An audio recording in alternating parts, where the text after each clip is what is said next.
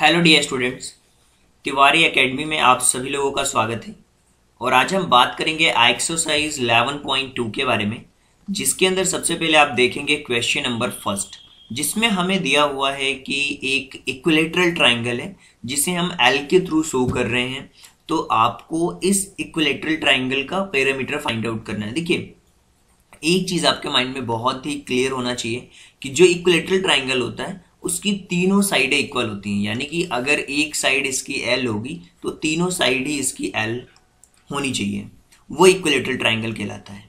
अब इसे हम डिनोट कर रहे हैं एल के थ्रू तो हम कैसे इसे इसका पैरामीटर फाइंड आउट कर सकते हैं? कैसे हम इसके पैरामीटर को एक्सप्रेस करने वाले हैं? तो सबसे पहले हम लिखेंगे side of equilateral triangle equal to one यानी कि सबसे पहले हमें लिखना होगा side of equilateral triangle side of equilateral triangle अब इक्विलेटरल ट्राइंगल का जो साइड है, वो हम किसके थ्रू बता रहे हैं? जैसा कि क्वेश्चन में हमें दिया हुआ है कि आपको एल के थ्रू बताना है तो इक्वल टू एल हम लिख देंगे। राइट अब हमें फाइंड आउट करना है इसका पैरामीटर तो पैरामीटर फाइंड आउट करना बहुत आसान है कि कैसे हम फाइंड आउट कर सकते हैं। देखिए एल इंटू थ्री तो इसको हम लिख सकते हैं थ्री एल आप चाहें तो इनको लिख सकते हैं थ्री इंटू साइड होता है, या L plus L plus L करेंगे तो भी आप इस तरीके से कर सकते हैं L plus L plus L क्योंकि तीनों साइड इक्वल है तो ये थ्री एल आएगा। या फिर जो इसका पैरामीटर होता है, वो होता है थ्री इंटू साइड तो थ्री एल रख सकते हैं। जैसा आपको समझ आता है, आप उस तरीके से कर सकते हैं राइट अब हम बात करते हैं इसी का जो सेकंड क्वेश्चन है, उसके बारे में और उसमें देखते हैं कि क्या चीज़ें पूछी गई हैं हमसे और कैसे एक रेगुलर हैग्जागोन हैग्जागोन का मतलब होता है जिसके अंदर छह साइडें होती हैं और देखिए यहाँ पे one two three four five and six total छह साइडें हैं यहाँ पे। इसका हमें पैरामीटर फाइंड आउट करना है तो सबसे पहली चीज़ हम लिखेंगे side of hexagon side of hexagon right अब ये हैग्जागोन का जो साइड है, वो क्या है? वो हमें एक्सप्रेस करना है एल के थ्रू तो हम इसका पैरामीटर फाइंड आउट कर सकते हैं। इसको पैरामीटर फाइंड आउट करना इजी है फिर हमारे लिए। हम लिख सकते हैं यहाँ पे six in two side right और साइड को हमने माना है एल तो सिक्स इन टू एल यानी कि सिक्स एल ये एक जो हमारा रेगुलर हेक्सागोन है, उसका पैरामीटर हमने फाइंड आउट किया हुआ है। इसी तरीके से अब हम बात करते हैं इसी का जो थर्ड क्वेश्चन है, उसके बारे में बात करेंगे। कि क्या दिया गया है और कैसे हम उस क्वेश्चन को सॉल्व कर सकते हैं। क्वेश्चन नंबर थर्ड के अंदर आपके पास एक क्यूब दिया हुआ है जो कि थ्री डी डायमेंशनल है। देखिए थ्री डायमेंशनल को कुछ इस तरीके से आप डिज़ाइन कर सकते हैं और इसके पास सिक्स फेसेस हैं और सारी जो चीज़, जो फेसेस हैं all of them are identical squares जो भी फेसेस हैं, वो एक स्क्वायर के फॉर्मेट में है और length of and a cube of given by L और जो भी इसकी लेंथ है, उसको एल के थ्रू हमने बताया है। तो हमें फाइंड आउट करना है इसकी total length find the total length of each of the cube देखिए, सबसे पहले लेंथ हम फाइंड आउट करेंगे वन एज की क्यूब की। सबसे पहले हम यहाँ पे लिख देंगे लेंथ सबसे पहली चीज़ जो हमें मेंशन करनी है, वो है length of one edge length of one edge of cube one edge of cube equal to L और नंबर ऑफ़ एजेस फिर हम लिखेंगे यहाँ पे। Number of edges number of edges in a cube number of edges हमारे पास दिए हुए हैं ट्वेल्व तो टोटल लेंथ जो है हमारे पास, वो क्या दी हुई है? टोटल लेंथ टोटल लेंथ हमारे पास दी हुई है ट्वेल्व इंटू एल तो ये हो जाएगा हमारे पास ट्वेल्व एल राइट अब हम बात करते हैं क्वेश्चन नंबर फोर्थ के बारे में और क्वेश्चन नंबर फोर्थ काफ़ी इंटरेस्टिंग क्वेश्चन है इसमें काफ़ी चीज़ें आप समझ सकते हैं।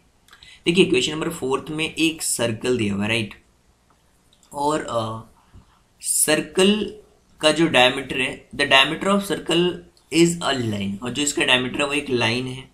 जिसमें आप समझ सकते हैं ई भी एक लाइन दिया हुआ है आपके सामने। और फिर जो चीज़ें दी हुई हैं कि which joins two parts on the circles also passes through the centre of the circle in eight joining figures A B is a diameter A B आपका डायमीटर है और सी सेंटर है उसका।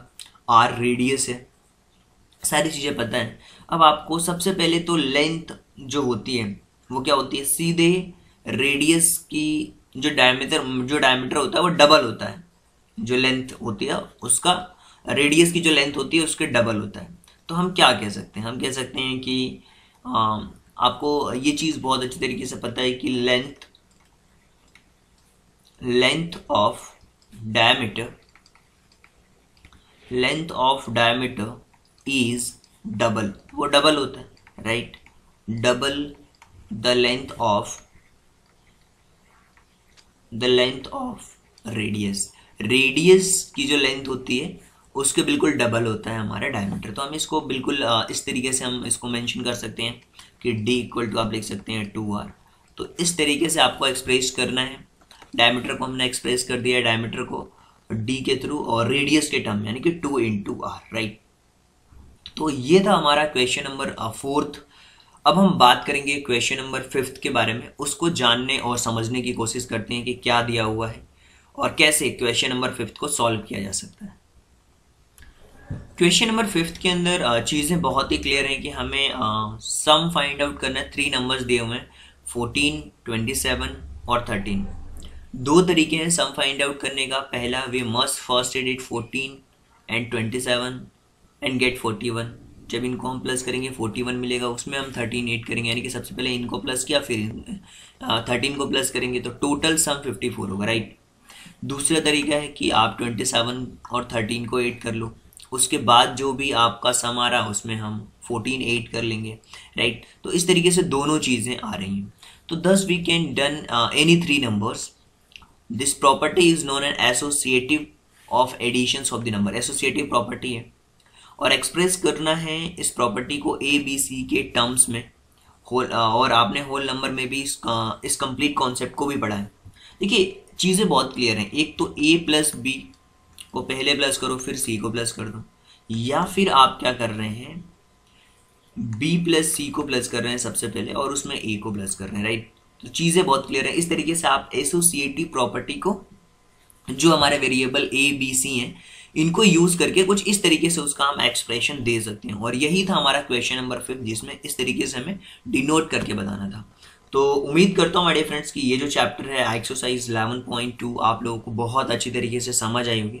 अगर आपको फिर भी लगता है कि कोई डाउट है तो आप कमेंट बॉक्स में क्वेश्चन पूछ सकते हैं। इसके अलावा आप हमारी वेबसाइट को विज़िट कर सकते हैं, वहाँ से पी फ्री ऑफ़ कॉस्ट में डाउनलोड कर सकते हैं आप। और इसके अलावा कोई डाउट लगता है तो आप कमेंट बॉक्स में क्वेश्चन भी पूछ सकते हैं। So thank you so much and thanks for giving your precious time at the last God bless you thank you so much